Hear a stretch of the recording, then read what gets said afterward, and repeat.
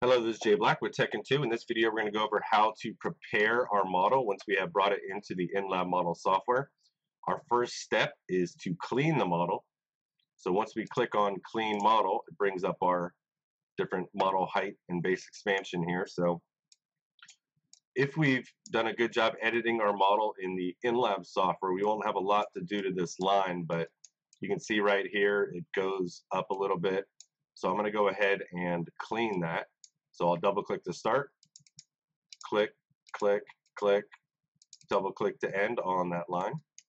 So we want to go over our entire model and uh, take a look at that, make sure everything's nice and clean because everything above and below this line is going to be our model height. So it's going to put a base on there um, below this line. So right here we have our settings for our model height at 3.88. So it's going to put our base, you know, 3.88 millimeters tall from the top and the bottom. Base expansion, what that does is it's going to bring out our model this way, depending how our parameters are set here. So we'll go ahead and click apply. All right, so now our base is calculated.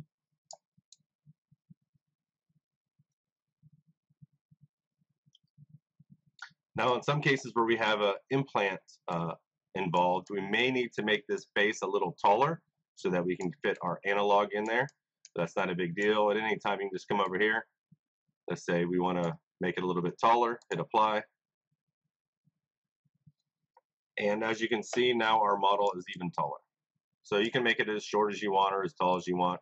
Uh, the only time you want to make it taller is if you have a analog that needs to be placed, you might need to add a little bit of height. All right, now that we've prepared our model using the clean model step, we can go to the design phase in the next video. Thank you very much.